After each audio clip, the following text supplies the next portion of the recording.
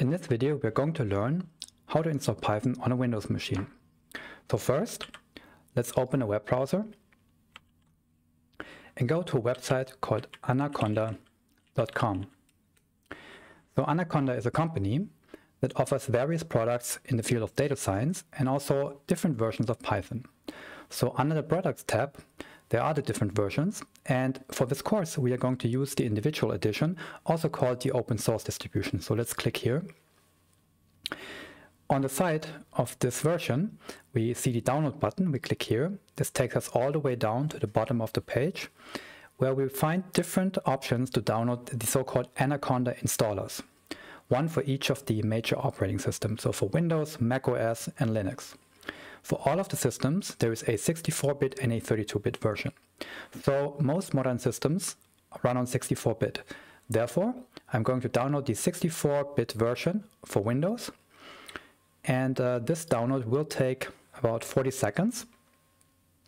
So we can check here. And in the meantime, we are going in the Start menu and click on Settings. Go to the System Settings, click on the About tab, and then under the where it says system type, we see that our system is indeed a 64-bit system. So this is where uh, where you would find the information if it's a 32-bit or a 64-bit uh, operating system. Okay, so let's check how our download is uh, going on. So just a few seconds left. Download is completed. So let's go to the downloads folder and click on the Anaconda installer. That starts the installation process. We click on next, we confirm the license agreement. Then in the, the next option, where we can choose between an installation just for me, that is the current uh, user that is signed on on this Windows machine, or if you want to install uh, Anaconda Python for all users. My recommendation is to just go with just me. Um, this keeps uh, a couple of things easier. We keep the installation path as it is. And then in the next settings, we uh, register Anaconda as the default Python uh, version on the system, but we do not add uh, Anaconda to the um, system path. Now the installation uh, starts, and this should take uh, roughly uh, two to three minutes. So in the meantime, what I'm going to do is I am talking about an alternative way to install it. And most importantly, it's actually not the alternative, it's actually the common, so the canonical way of installing Python. So let's go to python.org, the official website of the Python Software Foundation.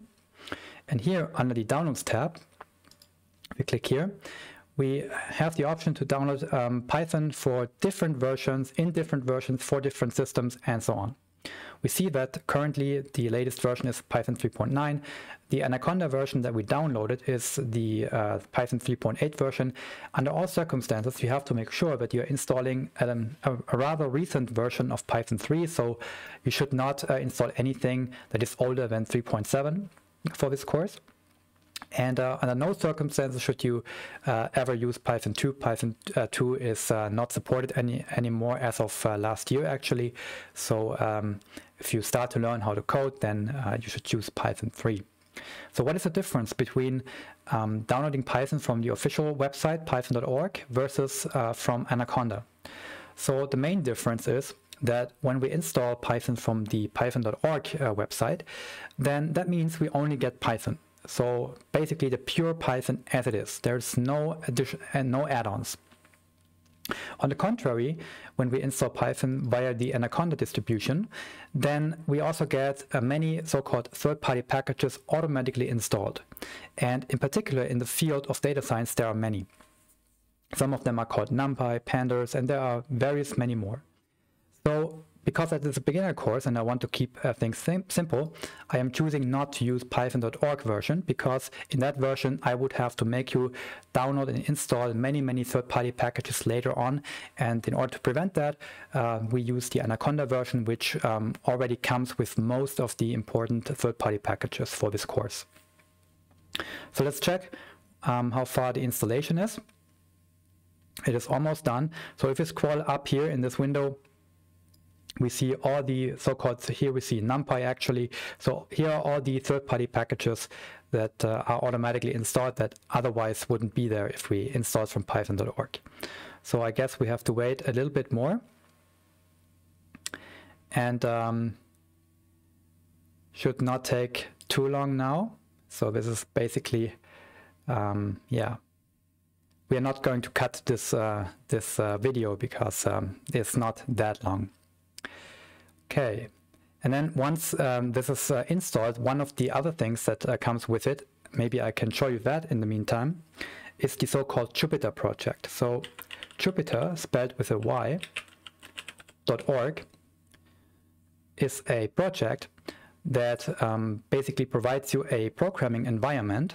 Here it is. Here are a couple of screenshots uh, that runs in the web browser and that we are going to use um, to uh, do the um, coding for our course here. Okay, so there are many different ways of how you can run Python code, but we are going to use the Jupyter Lab environment, and that is also included in the Anaconda version. So now the installation is complete. In the next option, uh, we just skip that. We do not need PyCharm. This is a um, proprietary and commercial version uh, of a software development environment. And then the um, tutorials, we um, uncheck them because I'm going to walk you through the basics. So we won't need that.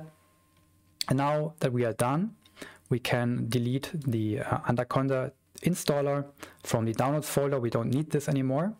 And then we go into the uh, start menu and here on the left hand side, we will find the Anaconda 3 64-bit uh, folder. We click on that, there are a couple of options, and we are going to click on the Anaconda Navigator option here. Okay, so now we see a couple of black windows popping up. Um, that means there are a couple of uh, programs running in the background, and uh, quite soon um, Anaconda Navigator is going to show up. So here we see um, the screen logo here. That is the uh, logo that is shown um, until the Anaconda Navigator has loaded. So now this is done. So what is Anaconda Navigator? Um, this is a software that is created by the Anaconda company that um, basically summarizes all of the um, things regarding Python and programming that um, have been installed. And we are in the beginning going to use the Jupyter Lab environment here um, for some uh, for some of you, um, maybe um, the Jupyter Notebook version, this is also an application that runs in the web browser, maybe a good alternative. This is um, like the old version and Jupyter Lab is the newer thing, so to say. And um, so Jupyter Notebook has a couple of less op options, and, but sometimes that is what you want. And then there are a couple of other options. So now let's click on Jupyter Lab, let's launch it. And now what's going to happen because as I said, um, Lab is a, an application that's going to run in a web browser. A new tab is going to open and that is now the Jupyter Lab um, application.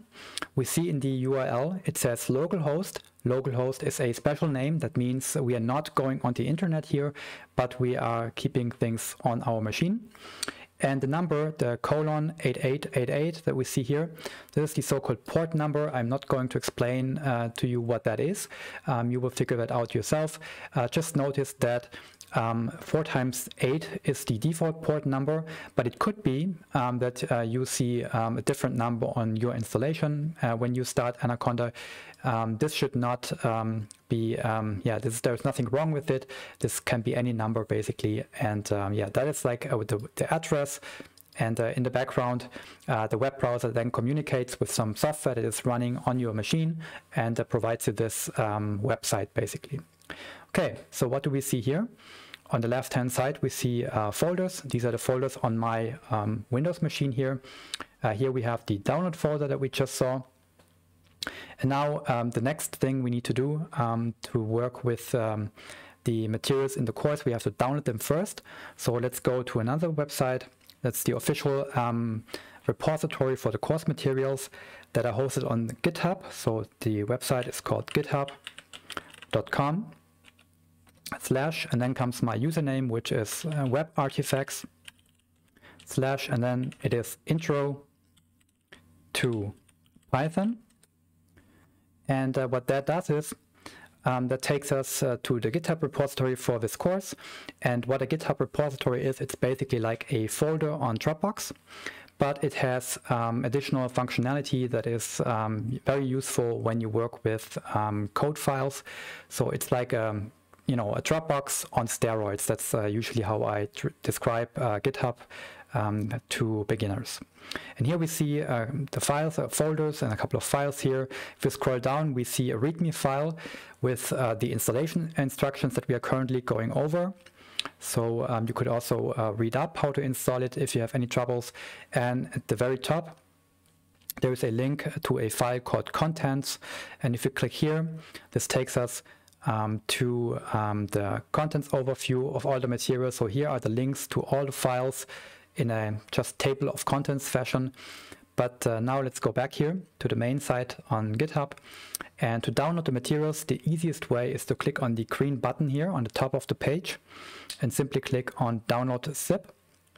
And this is going to download um, all the course materials as a zip file. This should um, be very fast. And then uh, let's open the uh, file folders uh, here File Explorer, go to the Downloads folder, and we see a zip file, intro to Python and so on. Let's right click on it and say extract all. And uh, this will um, now give you um, the folder to specify where you want to unpack all the files. So let's do that. This also should not take uh, too much time. And uh, inside the folder, there's another folder and there are all the files in there. So what I'm now going to do is I'm going to cut out all the files and move them one level up. So when you unzip a zip uh, file that has one folder inside that, you get one level of folder too much, so to say. Um, so now I have in the downloads folder a folder called intro to Python. If I double click on that, I have all the files here. Okay. And uh, now the zip file I don't need anymore, so let's also delete that. And this folder, the intro to Python folder, you can basically move anywhere on your file system where you uh, keep files for courses. Um, I also uh, recommend that uh, every once in a while you update them. Um, if you do that via downloading a zip file, you have to do that, um, you know, manually, so to say, by downloading the zip file, the latest version of the zip file, and uh, figure out which files have changed. Um, there are different ways of working with GitHub, but uh, they are not necessarily beginner friendly. So that is why um, we choose the option to download a zip folder. Okay, so let's cl uh, close the File Explorer and go back uh, in our browser into the Jupyter Lab tab. And now let's click on the Downloads folder here. And here we see the Intro to Python folder now. Double click here, and these are all the materials for this course. Okay, so what we could do now, for example, is we could go into the first uh, folder, 00 intro. This is the first chapter. And then let's click on the file 00 content. And this is going to open um, the first chapter, the first file in the first chapter of the book. You could now scroll over it and read it, but in a future video, I will show you how um, you can uh, work with these files in a more effective way. This was just now only to show you how to download them, uh, th th those files and how to open them. And uh, yeah, so this is how Jupyter Lab works. And there will also be another uh, video that will explain to you um, how uh, you should navigate in Jupyter Lab. So um, that is it for this video. Um, you now uh, have seen uh, how you can download Anaconda, install it on a Windows machine. On a Mac system, it will be very similar. Um, and on a Linux system, if you're using a Linux system, I, I guess uh, you can figure uh, out how to install Anaconda yourself. So um, we are not uh, going to have a tutorial for that. Okay, so uh, see you in, uh, in the course.